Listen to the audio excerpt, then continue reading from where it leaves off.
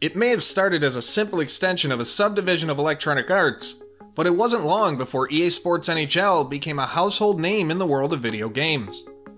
A nearly 30 year old series that continues on to this day because of innovation, and a fan base that can be compared to any of the other hardcore groups in the gaming industry. But what was once viewed as a seemingly unstoppable titan in the world of sports video games nearly collapsed under itself before laying out a new foundation as it looks to rise back up to prominence in the sports video game world. This is the story of EA Sports NHL.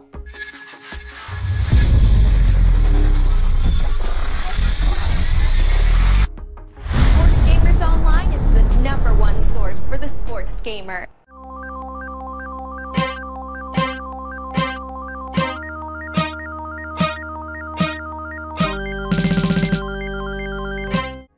Back in the early 1990s, Electronic Arts was still getting its feet wet in the sports gaming industry.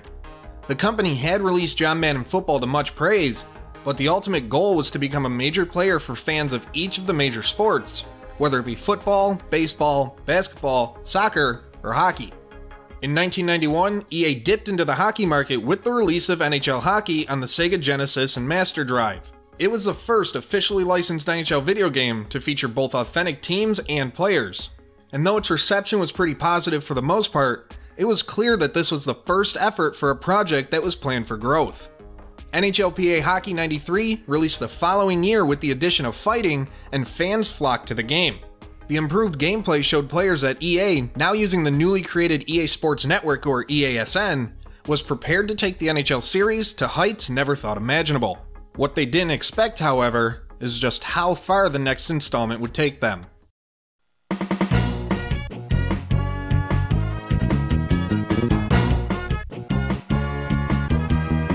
In the fall of 1993, EA Sports released NHL 94 for the Super Nintendo and Sega Genesis.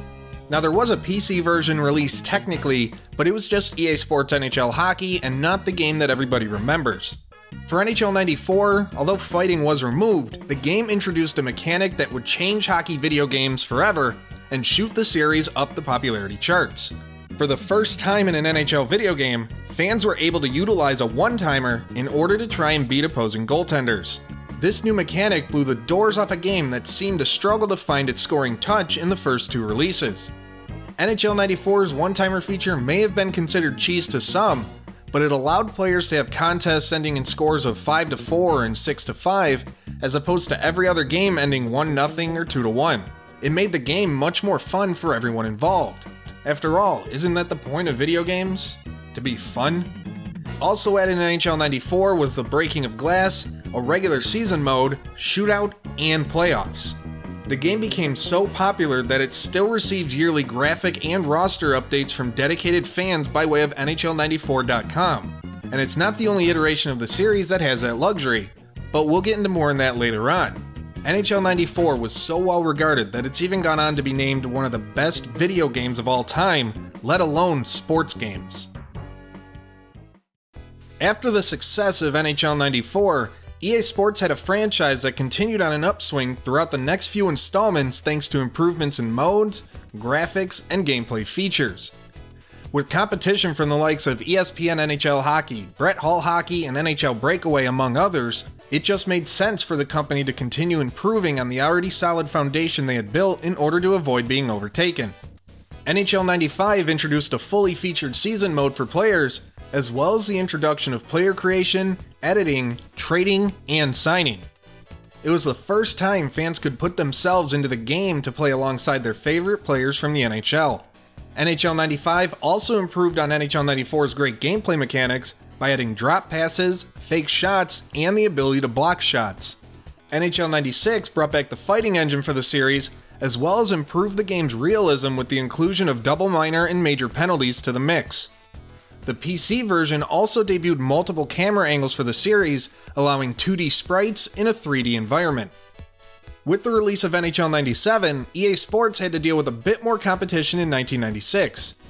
Because of the competition from games like NHL Faceoff and NHL Power Play, the developers had to up the ante by using a full 3D engine with motion captured players for the very first time. The game also featured Jim Houston of Hockey Night in Canada fame as the official play by play voice.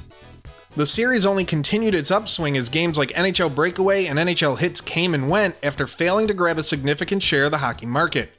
And while the game's installments over the next few years did receive a positive reception, it was the title released in fall of 2003 that had fans and critics alike buzzing. NHL 2004 was viewed by many as the game that really took the EA Sports NHL franchise over the top.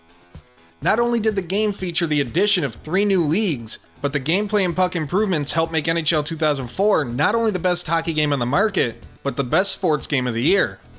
On the ice, puck control was improved along with the game's skating and checking mechanics. And off the ice, an overhauled franchise mode known as Dynasty Mode was put in place that allowed arena and personnel upgrades, scouting of players, and complete control of your franchise. NHL 2004 was so well respected that, like NHL 94, it still receives yearly content updates, the NHL 2004 rebuild takes the updates to a whole new level in the forms of multiple scoreboard displays, updated logos, jerseys, face structures, arenas, and more. There's even an online league for players to take part in. But despite the game's popularity and success, there was another title that tried to come in and steal some of that thunder after a bit of a hiccup with the series during the mid 2000s. After the juggernaut that was NHL 2004, EA Sports clearly looked to ride the wave of momentum into next year with NHL 2005. Unfortunately, things just didn't feel right for players. The fact that there weren't major changes to the game, as well as the feeling that the changes made hindered the experience more than anything, led to a negative response to the title. Meanwhile, rival 2K Sports released NHL 2K5 with a price point of just $20, making it much more enticing to fans than the $50 offering for a league that didn't even have a season during the 0405 league year. NHL 2005 sales suffered, only shipping approximately 680,000 units compared to the 1.3 million copies that NHL 2K5 sold. Whether it was due to competition from 2K Sports or the NHL's lockout, it clearly wasn't a good year for the series from Canada. But it wouldn't be long before the series rebounded in a big way. After a decent outing with NHL 2006, EA Sports made a strong debut on the Xbox 360 and PlayStation 3 consoles in 2006 with the release of NHL 07. Overhauled visuals, presentation, which included new commentary from Gary Thorne and Bill Clement, and gameplay put a much needed breath of fresh air into the franchise. The big improvement that added a sense of realism to the series was the introduction of the skill stick.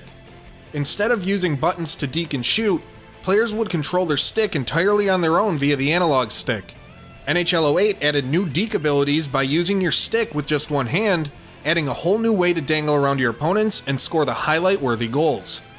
This new skill stick paired with modes like Be a Pro, which debuted in NHL 09 and allowed you to control a player from minor league prospect to NHL superstar, along with EA Sports Hockey League that allowed fans to put together a team of friends and face other teams online for league dominance, ultimately put the EA Sports NHL franchise over the top for players. Sales nearly doubled from NHL 08 to 09 as modes were improved while competition crumbled. Ultimately, the 2K series ceased to exist on consoles after it became apparent it was more harmful than beneficial to try and compete against the EA Sports NHL machine. This left the game unopposed on consoles. The series continued to see sales success even after becoming the lone NHL video game offering and no longer offering the title on PC, making consoles the only place you can play. The release of NHL 13 in 2012 saw the game break opening week sales records by selling nearly 500,000 copies at launch. Unfortunately, however, after the resounding success that the Xbox 360 and PlayStation 3 generation of games had, the next one would get off to a rather inauspicious start. With the transition to new consoles in the form of the PlayStation 4 and Xbox One, many were excited about what the NHL development team would do for the next generation of gaming. But while the hype was incredibly strong, fans were left disappointed and even angry by what they received from EA Sports with NHL 15. After taking an extra year to get ready for a next gen debut, NHL 15 was released with plenty of features missing, as well as current features and modes that had become extremely stale to fans. Gone was the popular EA SHL, GM Connected was wiped out, Be a Pro had been watered down completely, and standard Be a GM mode was pretty boring and dull. The only mode that was somewhat in depth was Hockey Ultimate Team, which didn't sit well with fans due to it being a mode that's microtransaction heavy. Sure, the game featured new broadcast presentation features in the form of the NBC Sports crew of Doc Emrick and Eddie Olczyk and TSN's Ray Ferraro, but even that came off as repetitive, forced, and dull. Frame rate issues plagued the pre-game cutscenes, and the on-ice gameplay just seemed slow and lacking of any sort of redeeming value. Because of the negative outlook on the game before and after its launch, NHL 15 sold less than 100,000 units during its first week on the market, there's no doubt that this was a dark time for a franchise that had been so well regarded for the past decade plus. To make matters worse, it was later learned that the game had lost developers due to the production of the upcoming EA Sports UFC title, but that didn't ease the mind of fans. If anything, it just may have made them angrier knowing that something they loved was depleted for something else. After that disappointment that was NHL 15, EA Sports looked to rebound in a big way with NHL 16, Back was a retooled EASHL, as well as improved on ice gameplay and physics. However, the game still featured stale Be a Pro and Be a GM modes, and didn't get player customization until a post launch patch after fan complaints. This led fans to continue to wonder if the game would ever get back to the glory it once had. With NHL 17, however, fans saw an overhauled franchise mode that brought back the ability to upgrade your arenas, manage your organization's finances, satisfy owner requirements, and even relocate your team.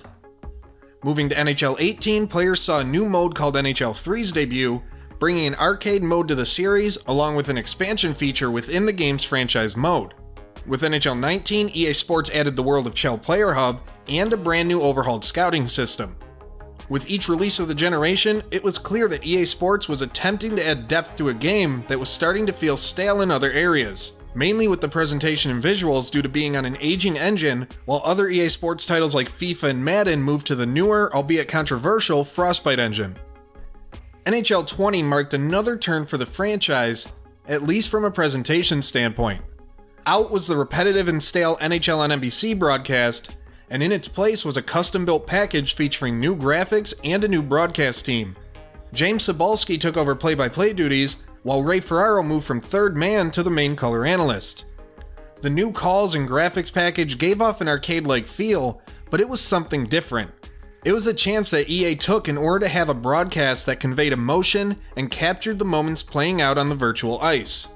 The EASHL has never been stronger aside from the lack of a practice mode, and modes like Franchise offer immense replay value for players. Though Be a Pro has seemingly remained an afterthought mode for the developers and players, making it the least played single player career mode in sports gaming today. On the ice, the gameplay has come as close to the Xbox 360 and PS3 days as ever before, and NHL 20 can be argued as the best NHL game to appear on PS4 and Xbox One. Now, don't get me wrong, that doesn't mean the series is back to where it was pre PS4 Xbox One, but it's without a question a good sign, especially when you look at what's around the bend. The series is at the end of a current generation, and now the question becomes will EA Sports be ready for the jump? Will they learn from the mistakes of the last generation leap? Or is history doomed to repeat itself when the series comes to the PlayStation 5 and Xbox Series X? It's safe to say that only time will tell. For more sports gaming history and features like this, leave a like on this video, subscribe to Sports Gamers Online, and turn on your notifications so you never miss a thing. And let us know in the comment section below what series or game you'd like to see us take a deep dive into the history of next.